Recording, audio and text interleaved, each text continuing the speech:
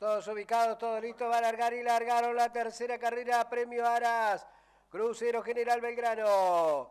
Agrupados los competidores rápidamente sale a la delantera por el interior de la cancha la competidora número uno.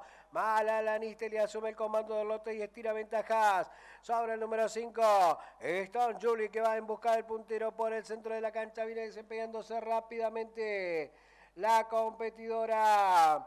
Número 6, Outerline en busca de los punteros rápidamente que ya va al segundo lugar. Cuando las competidoras de esta tercera carrera están promediando el codo. Sigue la competidora número uno comandando el lote cuando van a hacer el ingreso al tiro derecho final. Últimos 400 metros de carrera con el 1. Afianzado la vanguardia, abrigado los palos. Carga rápidamente en busca del puntero. La competidora número 6.